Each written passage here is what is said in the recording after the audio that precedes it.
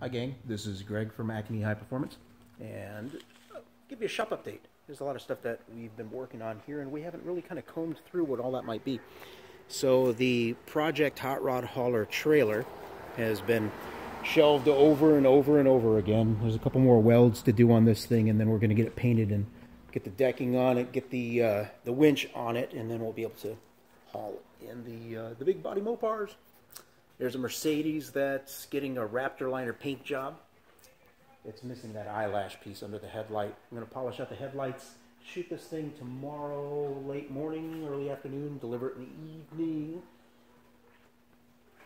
They're going with uh, a really interesting purple color too, which is going to be a lot of fun. But there was a little bit of collision damage. We had to pull the door jamb out and things like that so that we can get the door to hang on the sucker. There's all the wood, Maceo, he went and he routed all that stuff and got all the stain on it and the sealer on it. So it's going to be really nice for that trailer. We've got to do some uh, cosmetic work on the building. Uh, we're hoping to have a welding party day that should have happened a couple weeks ago, but you know how it is when you get busy. We're going to make the Acme sign out of a bunch of old exhaust pipe pieces that we've got and do it in a font that says, you know, Acme with a M for the Mopar, which will be fun. Uh, see, uh, this guy here, we've got this Mercedes Kompressor, and uh, it's, got, it's got a new torque converter coming, new wheels and tires up in the loft already. TDI Volkswagen had a little bit of front end collision damage. This one actually belongs to our partner Tweet, and that one's probably going to get done this next week. Finally, uh, the Porsche. This is the Porsche that's getting the secret weapon engine. It's got a blown turbo engine in it. This is a Porsche Boxster hardtop convertible. Real cute 19 inch wheels and all of the nonsense. But it's got 100,000 miles on it. The headlights on this sucker are cooked through. They all do it. And they're kind of ugly. So they're 1200 bucks to get a used set of them. $2,400 to get a new set of those things. It's really crazy. You can even get the OEM ones. I think it's like thirty-six hundred dollars. Uh, Dodge truck. I know. I gotta get to the lift. It's here.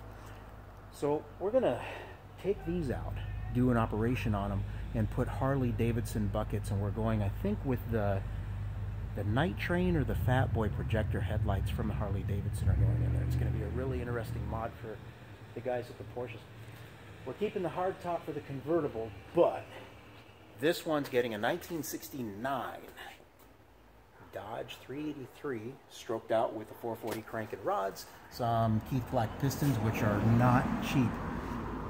That brings it up to, well, depending on the, the honing requirements of the engine block, somewhere between 426 cubic inches. That would make it a baby max wedge on a B block, small big block. Or 431. We're going to go with cross ram induction. So in 1961, 2, 3, and 4, the Dodge guys figured out how to use sound wave technology.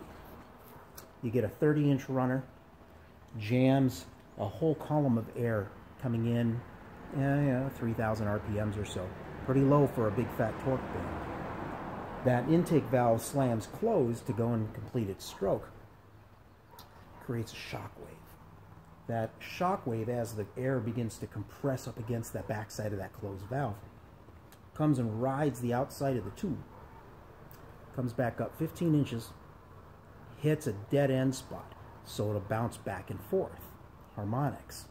Those harmonics the guys at dodge were getting in 1961 20% of a torque boost at 3500 rpms so we're going to do the same thing, except I'm going to handcraft these things. We're going to test them a bunch of times before they go in. And it's going to have a plenum over here and a plenum over there, 30 inches from this cylinder head's backside of the valves, 30 inches from this one. We might tune it to like 32 inches or 28 inches. I'm going to make several pieces of them. We're going to throw them in a Mopar and test them out a few times. So we're going to have our uh, sound wave driven forced induction from a naturally aspirated engine from the top, and our sound wave driven exhaust technology through the bottom to create massive amounts of scavenging. I don't want to give away all the secrets that we've developed for that system yet, but we're going to get a wall of torque, over 500 foot-pounds of torque. 24, 2500 RPMs, 26 max on the six-speed. This thing's going to pull wheelies. It's going to be crazy, and it's going to get in the mid-20s per gallon. We've got a real Hurst pistol grip shifter to put on. The Porsche guys hated the shifter. They hated the exhaust note. They hated those headlights. We're fixing all of those things. We've got a real pistol grip shifter from a 1967, 8, or 9 uh, B-body Mopar. So I'm going to fabricate that onto there. We're going to go with, for the finish mufflers, 1994 Dodge Viper side pipes, which do have a muffler in them.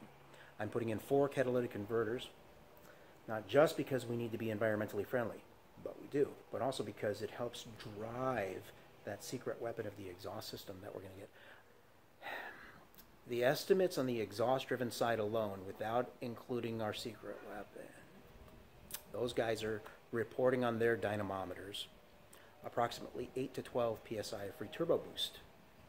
We're going to improve on that. And it's going to work together with the induction system. The induction system, by the way, was developed in World War II, so that way our planes could outclimb the zeros when they came in. We had all that torque going up using the sound wave technology to get it in. Ah. And uh, let's see, there's a couple more things about this one. Everything that says Porsche is coming off because it's not going to be a Porsche anymore. It's going to be a Dodge. 19 inch wheels and tires, we're going to put them on something. And I'll probably rebuild that engine because people like it and I'll put it in something. I don't know what, but we're going to go with 1972 Dodge reproduction police car wheels and uh, hubcaps because, you know, like even anti-fascists like the Blues Brothers like their Mopars with the cop motor and the cop tires. Nice big fat Goodyear Eagle GTs with the white letters on them. Porsche emblems all coming off, Harley Davidson headlights, Dodge Viper side pipes, Dodge Challenger shifter. Probably, yeah, I think so. We'll definitely be in the mid 20s per gallon. We're definitely going to be in uh, terrifyingly fast. And uh, the emissions will be reduced below what this thing was factory.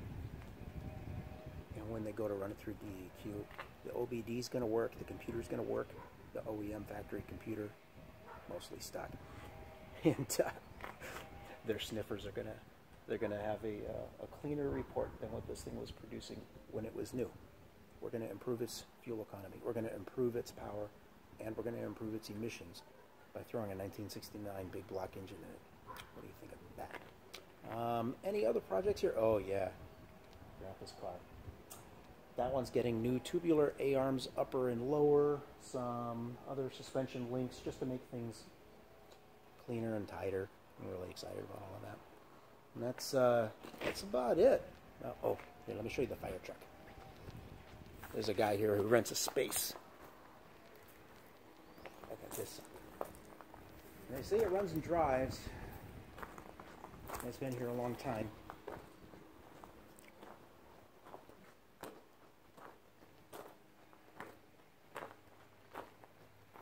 Amity Fire Department. We're not going to touch it. I don't know the guy. But, I don't know. If we could think something to do with it, maybe we'll trade him something fun for it. You guys have a good day.